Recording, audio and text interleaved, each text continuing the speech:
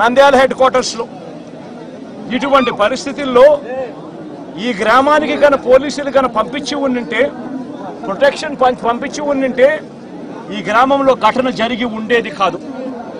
సాక్షాత్తు ఎస్ఐ చూస్తా ఎస్ఐ చూస్తా ఉన్నాడు. సాక్షాత్తు కానిస్టేబుల్ చూస్తా ఉన్నారు.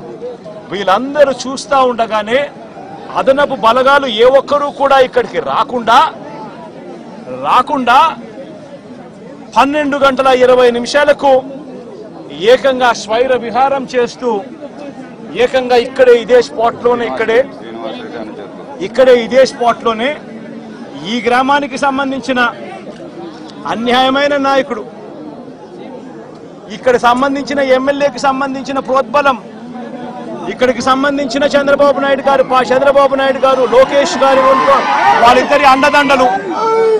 వీళ్ళందరి అండదండలతో పోలీసులు ఎవరూ కూడా పంపించకుండా పోలీసులు ఎవరూ కూడా ఇక్కడికి రాకుండా సాక్షాత్తు పోలీస్ ఎస్ఐ సమక్షంలో సాక్షాత్తు ఇద్దరు కానిస్టేబుల్ సమక్షంలో స్వైర విహారం చేస్తూ ఏకంగా నరకడం జరిగారు సుబ్బరాయుడిని హతమార్చారు.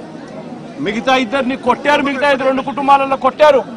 చివరికి సుబ్బరాయుడు భార్య పెద్దమ్మను నరికారు. నరికారు. ఇవన్నీ ఇక్కడే జరిగాయి. ఇదే గ్రామంలో జరిగాయి.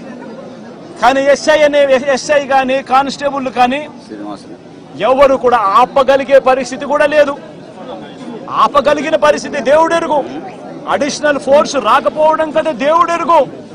చివరికి వీళ్ళు హత్య చేసిన తర్వాత పన్నెండు గంటల యాభై తొమ్మిది ఆ ఫోన్ చేసిన తొమ్మిదిన్నరకు ఫోన్ చేసిన ఎస్ఐ వచ్చినాడు ఎస్ఐ ఊరికి వస్తే ఎస్ఐ నారపరెడ్డిని నువ్వు నువ్వు నువ్వు నువ్వు నువ్వు కాన్ నువ్వు ఎస్- నువ్వు పోలీస్ స్టేషన్కి వెళ్ళిపో అని చెప్పి ఎస్ఐ చెప్తే నాలపరెడ్డి పోలీస్ స్టేషన్లో ఉండి పన్నెండు గంటల యాభై తొమ్మిది నిమిషాలకు అంటే ఒంటి గంటకు జరిగిన ఘటన తెలుసుకొని పోలీస్ స్టేషన్ నుంచి నాలపరెడ్డి ఎస్పీకి ఫోన్ చేస్తాడు.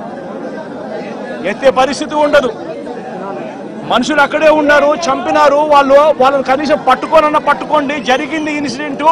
నాకు తెలుస్తా ఉంది నేను ఫోన్ చేస్తా ఉన్నాను. మా ఇంటి దగ్గర సీసీ కెమెరాలు సీసీ కెమెరాలు ఉన్నాయి. సీసీ కెమెరాల దగ్గర నుంచి వచ్చిన ఫుటేజ్ నా ఫోన్లో కూడా లోడ్ అవుతా ఉంది. మీకు కూడా పంపిస్తా ఉన్నాను కావాలంటే చూసుకోండి చెయ్యండి ఎస్ఐలు అక్కడే ఉన్నారు ఎస్ఐ సమక్షంలోనే ఇవన్నీ జరుగుతూ ఉంది అని అంటే అప్పటికి కూడా పట్టుకునే దానికి కూడా కనీసం అదనపు ఫోర్స్ రాదు. చివరికి చంపినోళ్ళు ఊర్లు ఊరు దర్జాగా విడిచిపెట్టి వెళ్ళే పరిస్థితి. చంపేసి ఎస్ఐ సమక్షంలో కానిస్టేబుల్ సమక్షంలో ఇద్దరు కానిస్టేబుల్ సమక్షంలో చంపేసి ఊరు కూడా విడిచిపెట్టి వెళ్ళిపోతా ఉన్నారు చంపేసిన వాళ్ళు. వాళ్ళని కనీసం పట్టుకునే నాతుడు లేడు పోలీసులు. పట్టుకునే దానికి కూడా కనీసం పోలీసులు రాల. ఇన్సిడెంట్ జరిగిన తర్వాత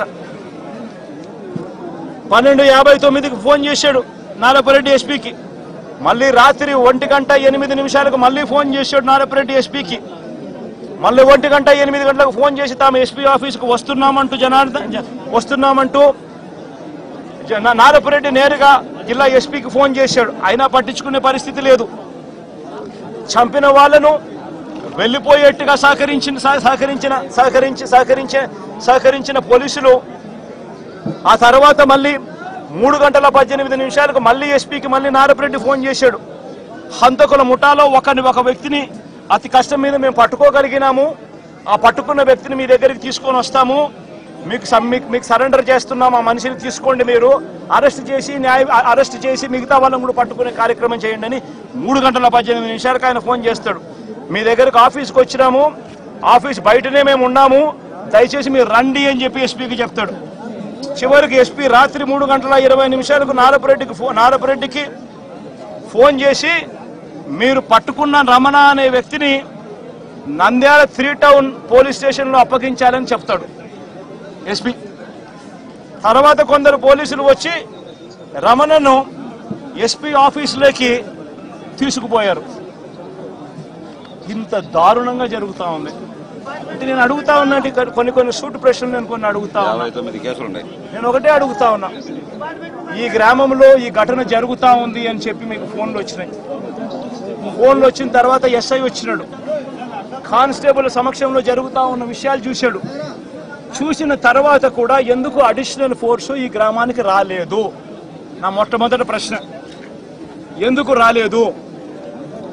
తర్వాత ఎస్ఐ సమక్షంలోనే ఎస్ఐ సమక్షంలోనే ఏకంగా మారణకాండ చేస్తూ మనుషులను చంపేసే స్థాయిలోకి చంపేసిన తర్వాత కత్తులతో ఇలా నరికి ఇంకా పలువురిని గాయపరిచిన తర్వాత కూడా ఎందుకు వాళ్ళందరూ కూడా ఈ కార్యక్రమం చేసి మళ్ళీ గ్రామం వెళ్ళిపోయిన తర్వాత వెళ్ళిపోయేదాకా వాళ్ళని ఎవరు ఎందుకు పట్టుకునే కార్యక్రమం చేసేదానికోసం కూడా ఎందుకు పోలీసులు రాలేదు? నేను అడుగుతా ఉన్నా ఈ ప్రశ్నలన్నిటికీ. ఎవరు ప్రోద్బలం ఉంది? ఎవరు ఈ పోలీసులను ఆడిస్తా ఉన్నారు? ఏకంగా ఎస్పీ ఏకంగా సిఐ ఏకంగా డిఎస్పీలు. ఏ ఒక్కరు కూడా అడిషనల్ ఫోర్సును పంపించుకోకుండా పగడ్బందీ పద్ధతి ప- పగడ్బందీ ప్లాన్ ప్రకారం మనుషులను చంపేసి చంపేసిన వాళ్ళు ఊర్లు కూడా విడిచిపెట్టి వెళ్ళిపోయే వెళ్ళిపోయే పరిస్థితి క్రియేట్ చేసి అప్పటికి కూడా ఫోర్స్ రాకోకుండా కూడా వీళ్ళు ఆపగలిగినారు అని అంటే ఏ స్థాయిలో కుట్ర జరుగుతా ఉంది అన్నది ఏ స్థాయిలో రాజకీయ నాయకులు పోలీసులు ఏ స్థాయిలో వీళ్ళందరూ